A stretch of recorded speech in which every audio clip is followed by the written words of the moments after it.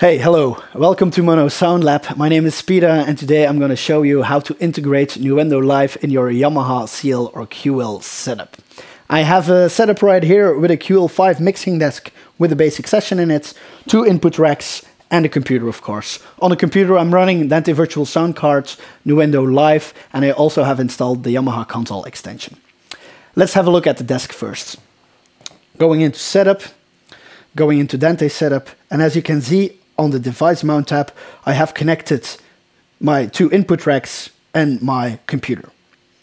Now we can set up our Nuendo uh, recorder. Press recorder right here, go to the Nuendo Live tab, and we do the setup by pressing Nuendo Live Setup. Here we choose in the DVS tab, we choose the correct computer, which is in my case, my MacBook Pro that's actually it. The next thing we need to do is to think about our input patch because it's going to be different during virtual soundcheck or during show. During the show, I want the inputs of my desk to be my input racks, the preamps of my input racks. But during virtual soundcheck, the inputs of my desk need to be uh, need to come from my laptop that is running the multi-track recording from the previous day. How do I do that? I'm going into Dante input patch and I make two different patch libraries. I make a show patch library with Dante 1 until 32 patched to my two racks, and I make a soundcheck library, let's recall that to show you, with Dante uh, 1 until 32 patched to my computer. So that's it for the disk setup. Let's have a look uh, at, the uh, at the computer. As you can see, I am running Dante Virtual Sound Cards already here and I need to patch the inputs to my Nuendo to my multitrack. My transmitter for that are my input racks because I'm one, I want to record uh, the preamps directly. So the first inputs are coming from my Rio rack. So let's use a filter here. My receiver is my Mac. And I patch the first 16 inputs to the first 16 inputs uh, of my MacBook Pro. My second rack is a TIO rack so those 16 inputs I patch from 17 until 32 on my MacBook. So now the inputs are patched, I can have a look at Nuendo. If you open up Nuendo, this is the screen you get, and I always check the settings. Make sure your audio system driver is set to Dante Virtual Sound Card, and your output mode is set to multitrack.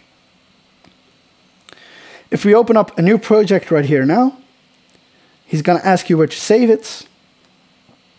And he also automatically names all your tracks like you uh, put the track names in the disk and also your uh, channel colors he will add to your channels in your Nuendo. Okay, now we're ready to start the show and to record. One small thing, our Dante input patch is still set on virtual soundcheck mode. So the, the Dante inputs are my computer right now. That's not correct. I need to change it to show mode before we start the show. Okay, now we're ready to record. I have a transport bar right over here where I can control my uh, my Nuendo Live, and I have a very very cool button here, and that's called Easy Recording. What does the Easy Recording button do? It uh, record enables all tracks in your Nuendo Live. It starts recording on all tracks, but also it locks your transport bar right over here on the desk, and it locks the transport bar uh, in your Nuendo Live on your computer. So you can't stop the recording by accident. So let's press easy recording right here. The recording starts, and if we have a look uh, at my computer right here, you can see that the multitrack is starting. During recording or during the show, we can also add markers. And we can do that from the desk. If you press the button right over here, add marker, it will add a marker right here and you can see it in the list on the desk. Or if you go to your computer and you press K on the keyboard, you can see the marker uh, track bar on top, and you can see that there is a marker added here as well. We can also activate the recall link function. If you activate the recall link function, then the desk will add a marker in your Nuendo and in the drop-down list right here every time you change a scene. So if you press next, it will add a marker on that position.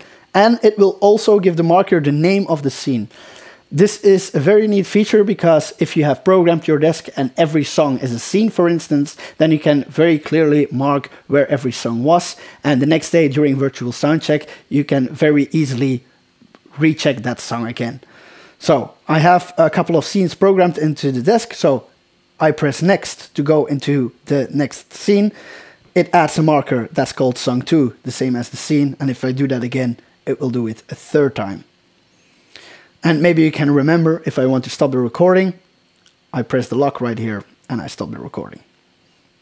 That's it for multi-track recording. Now let's have a look at multi-track playback and virtual soundcheck. Maybe you remember, but we need to change the Dante input patch again. So go to Dante input patch, select library and select the previously programmed soundcheck patch. In the meantime, I loaded a previously recorded multi-track into Nuendo Live. This multi-track has some markers in it. We have an intro marker, we have a main riff marker, and we have a guitar solo marker. Now let's go back to the desk and see how we do virtual sound check completely controlled from the desk. You can see in the list here we have the same markers as we had in our Nuendo and I can completely control everything from here. So if I press play, the multi-track is going to start playing you can hear that, you can see that on the meters. If I press next, I'm going to the next marker. And now we can see all the tracks are playing, so I can adjust everything according to the new venue. I can go to the solo. And I can stop the multi-track. That's how easy it is to virtual sound check on a Yamaha desk with a Nuendo Live setup. Thank you very much for watching. I hope you liked the video. Don't forget to subscribe. See you next time. Bye bye.